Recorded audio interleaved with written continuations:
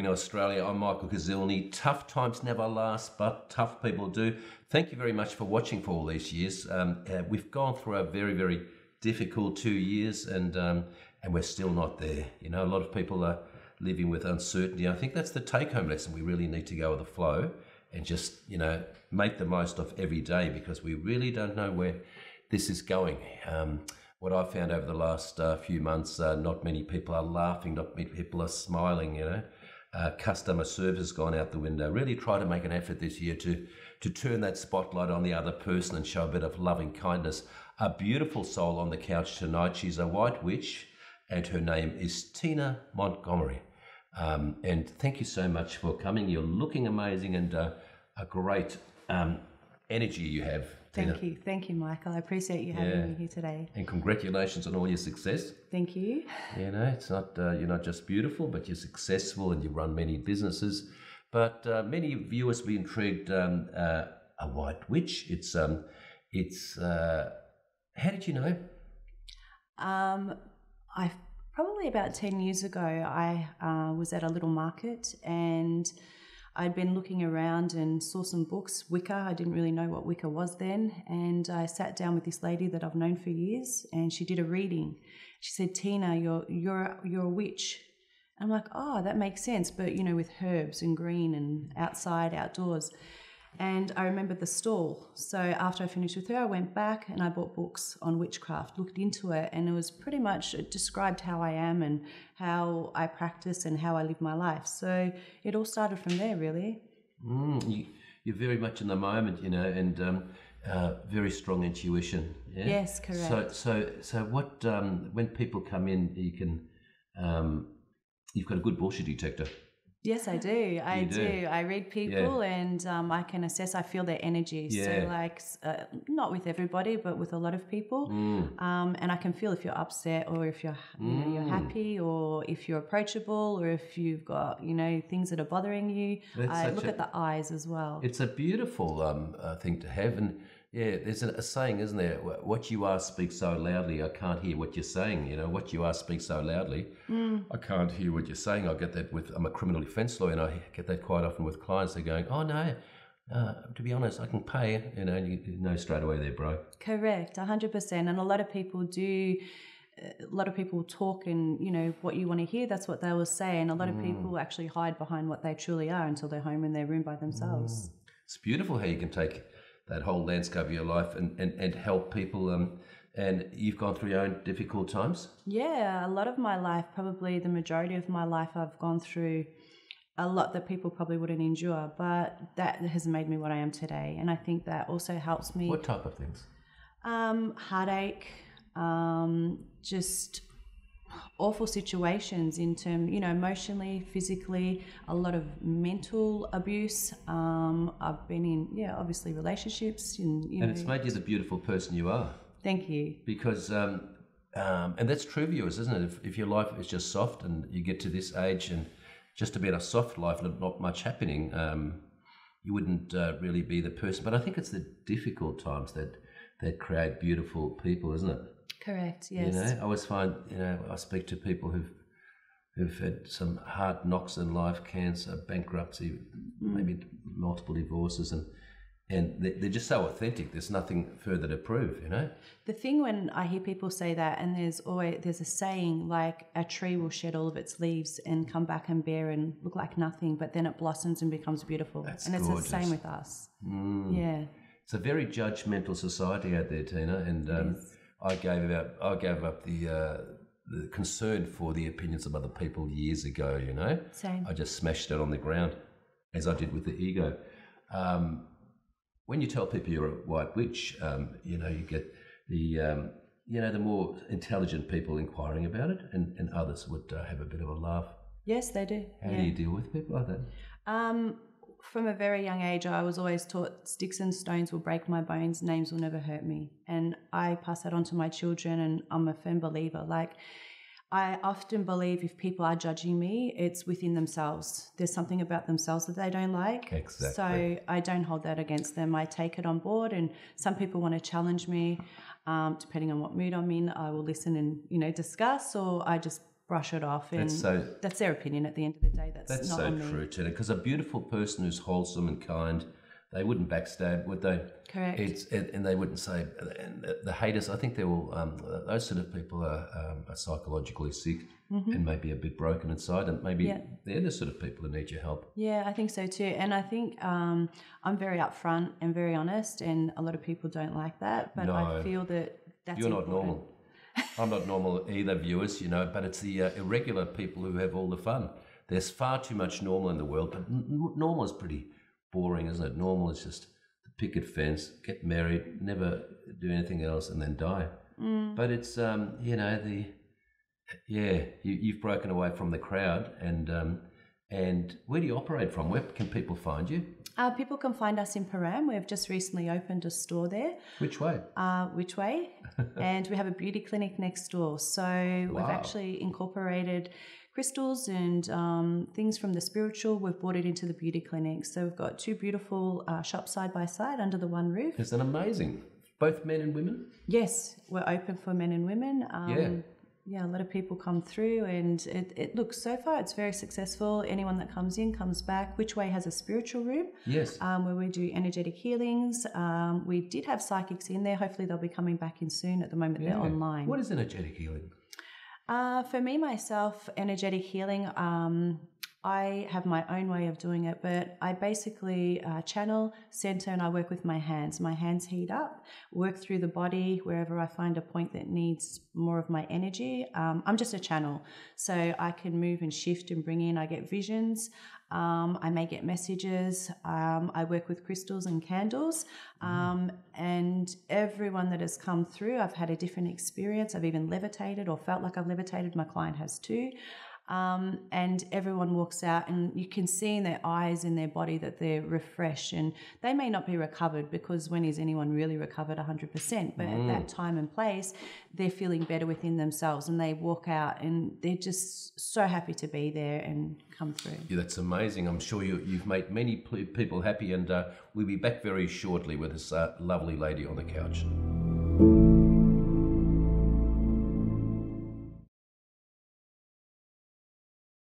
Tina Montgomery's on the couch, uh, a beautiful lady. Uh, found out um, uh, about uh, witchcraft uh, about 20 years ago, you think? Yeah, I would say 20, but I still have um, 20 years I've been practicing, going to psychics and looking. But my first recollection, I think, would have been six when I was in my bed and I had someone standing over me. And I remember they say the slender man, or, and I slept probably 20 years with my hands under the blanket, wouldn't put them out for a fear until I got to understand, you know, and deal with things a lot better. What are the, uh, some of the special qualities um, that a white witch has, or shall I call them powers? You know, um, a strong intuition. Yeah, very intuitive. Um, have a sense of, for me personally, reading people. Yeah, Um, I just think it's more caring and more able to help people. I manifest. I use my own rituals for myself. It's more for me. I do it more personally, so it's for my personal use. so a lot of people get into relationships, and um, there's always that honeymoon phase, isn't there? People think, "Wow," and then people change. Um, you know, the true colours come out, but um, I suppose you you were good at uh, predicting that because you can. No, that's Maybe- not true. No. Not necessarily, because um, I can I get a sense of how people are, but obviously people change. And in terms of relationships, when your heart becomes solid to a person, for me in particular, it clouds that judgment of not knowing how the person is intuitively. You can understand, or you may pick up on things, um, but you just never know where it's going to go. You you probably get a gut of how it may go.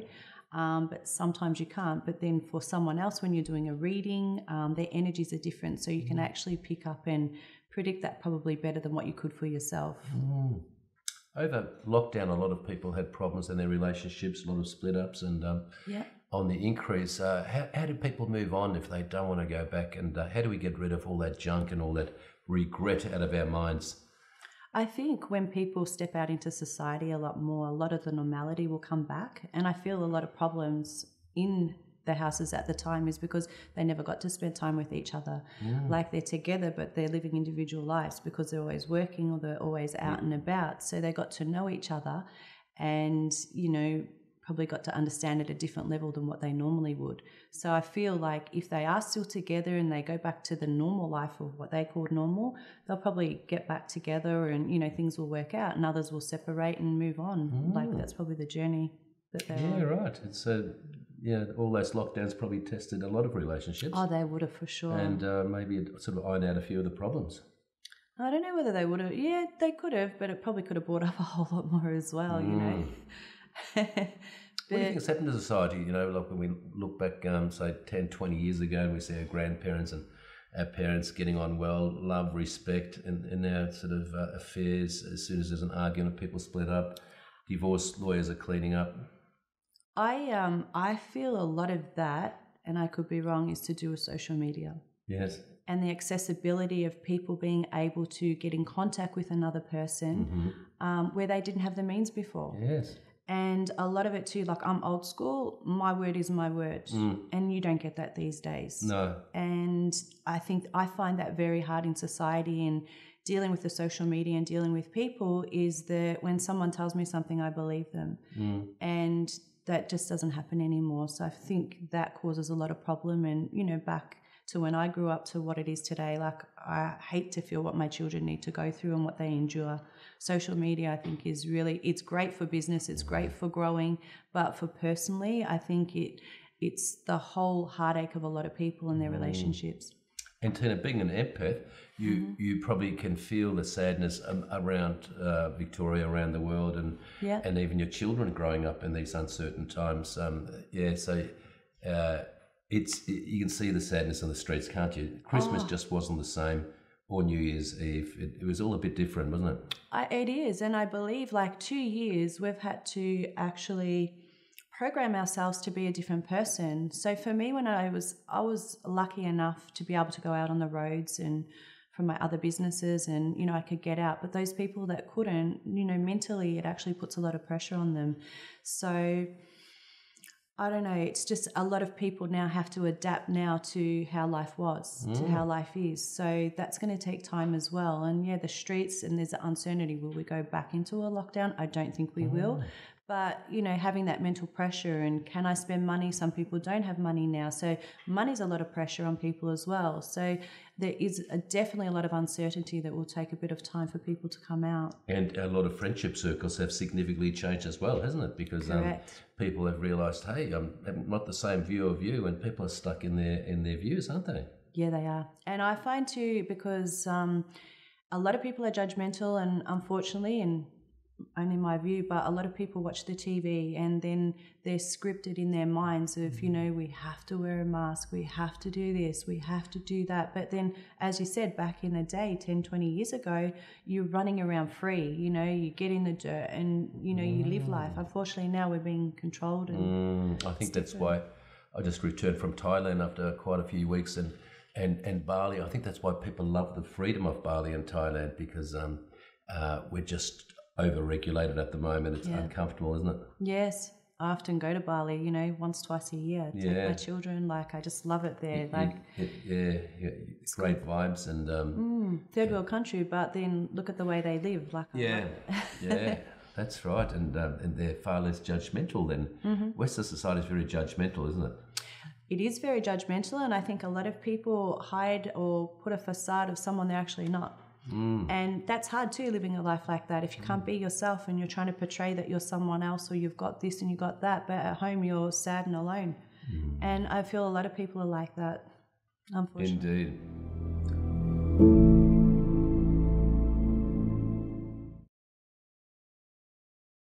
And uh, Tina, um, what do you do for fun? What's joy for you? Wow, I love going out, drinking, socializing, driving. Um, yeah, I also like going out to the country. My parents are from the country, Mhm, so from? fresh air, Beaufort, small country town. Yeah, well, you know, country Victoria, and then um, and then their daughter says, "This is what I'm doing." But uh, are they um, with you now? Have you explained um, uh, what a white your which uh, um, your- Not so much explaining. Um, with my family, they accept and you know Yeah. support and everything that I do. Um, with my children, they see me practice at home. I've got an altar in my room. I've Yeah. got unusual, you know, items that I've sourced all over the world Mhm. in my house. So yeah, they're very accepting to what's it. the altar for? altar is where I perform my rituals. Um, and to me, that's where I center and I just zone out from the whole world and, and do what I have to do. If I want to manifest anything, like I manifest when I'm moving around, but if I want to do something strong and I want something to come in quick, I use my altar for that. Amazing. Do you get in touch with other witches? Um, yeah, I do bump into quite a few, especially with having the shop. We have a lot coming through. Oh, really? Yeah, I did join a little circle of one at one time. It wasn't for me. I'm more of a solace. Like I like doing my own thing, my own way. Um, so yeah, I practice. Are there many white witches? Yeah, I believe there's quite a few, and there's a lot more. Is there? Yeah, um, it, And some don't don't want to even uh, announce that they're a white witch. some people don't know. I find that it's a fear of being rejected or the fear of you know um, just not being accepted. Mm. But yeah, I I'm out there. I say it now. I, I used to be the same. I used to be like, oh no, they're gonna think I'm whatever, but I don't care now. Like I just yeah, I'm a witch. And some people just look at me and that, and then but then others are accepting. Oh, what does that mean? And then I go into you know conversation with them. Yeah, and and the uh, the business sounds great. There's a uh, um, there's a healing, and then you make people feel great about themselves. Yes, Yeah, yeah, they love it's it. important, isn't it? It's important that self care is important, isn't it? Self care is very important. And I feel too, one thing that I do want to say though, like people think, oh, what, come and heal me. But like a lady came in and I healed her and she brought her son in unbeknownst to him. And he's looking at me like I'm a freak. And I'm just like, your son won't allow me to heal him. I don't want to waste your time. Um, you know, when he is accepting to this, um, please bring him back in. I'd love to work with him and I'd love to, you know, heal him. Um, and when people say healing, like it's not as if you're healing a broken arm, it's very energetic and it's a point of where a person may be. It may be past lives. It may be something that's bothering them within a relationship. It, it can be something that they're uncertain of. And I can work through all the body. Each body works on different areas, you know, of your life.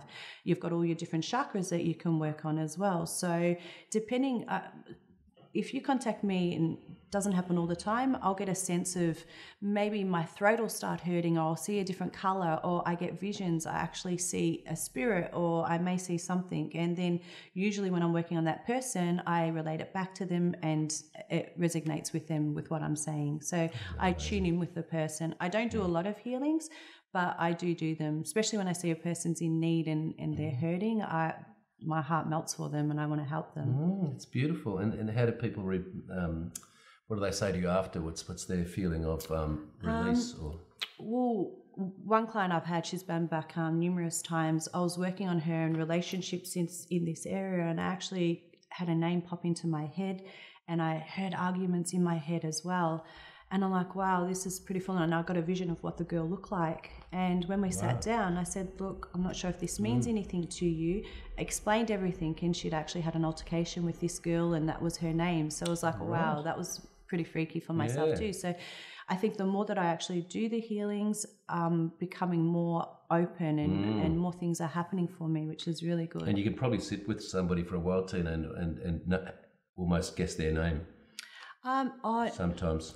No, not really, because I, na- it depends. It depends how I focus and what comes through. Like I can't control what comes through; it just happens, and like I get a sense of feeling or or something. It's more or a situation. Like it differs for every person that I have. One girl I was working on, and around her leg, I'm like, oh, I could feel pain and heat in that area. and she'd actually hurt herself prior to coming through. So, like, it doesn't happen for everyone the same. Mm. And can you feel sometimes that something bad might happen to them or something really exciting is going to happen to a person? Uh, not so much when I'm doing a healing. Um, I do readings. Um, I prefer a Lenormand deck. That's what I work with. Tarot, I work a little bit with, but it hasn't resonated as much. Oh, you do those as well? I do, but not in the shop. I do them for my friends, and thankfully, every reading that I've done has actually come into fruition. And sometimes I do get bad messages and coming through. It's just how you um, identify what it is and how you put it back to the person. Not everyone can hear certain things.